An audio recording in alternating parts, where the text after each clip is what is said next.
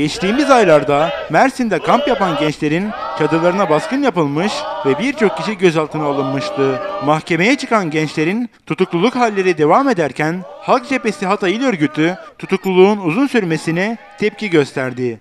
Çıkarılan mahkemede hukuksuzluk devam etmiştir. Üçü çocuk olmak üzere 13 kişi tutuklanmıştır. Biz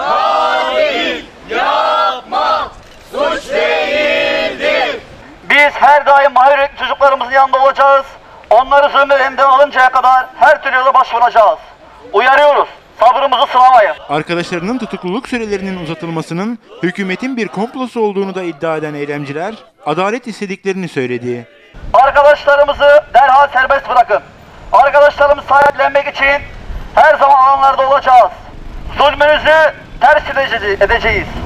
Tüm halkımıza anlatacağız bu hukuksuzluğu. Duymayan kalmayacak. Adalet istiyoruz, alacağız. Tutuklananlar serbest bırakılsın.